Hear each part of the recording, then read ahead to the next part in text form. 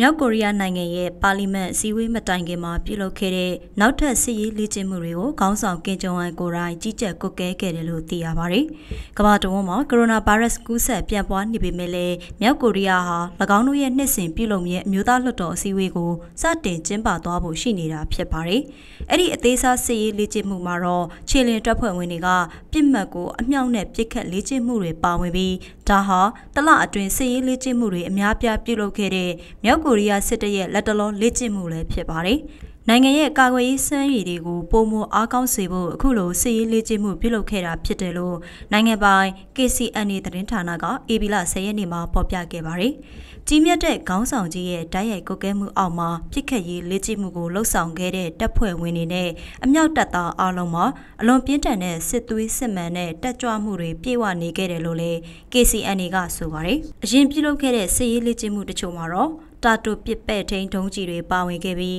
နိုင်ငံအတွင်းမှာကိုရိုနာဗိုင်းရပ်စ်ကူးစက်မှုကိုတားဆီးဖို့တင်းကျပ်တဲ့ညွှန်ကြားချက်တွေချမှတ်ထားပေမဲ့လည်းစစ်ရေးလေ့ကျင့်မှုတွေကိုဆက်လက်လှုပ်ဆောင်ခဲ့တာဖြစ်ပါတယ်။မြောက်ကိုရီးယားနိုင်ငံမှာကိုရိုနာဗိုင်းရပ်စ်ကူးစက်မှုမရှိကြောင်းအာဏာပိုင်တွေကအခိုင်အမာပြောဆိုထားပေမဲ့ဆေးစစ်မှုတွေဇက်တိုက်လှုပ်ဆောင်တွေကလူ900ကျော်ကိုယောဂါခြေကျုံနဲ့ထားရှိထားတယ်လို့ကမ္ဘာ့ကျန်းမာရေးအဖွဲ့အစည်း WHO ရဲ့အဆိုအရသိရပါတယ်။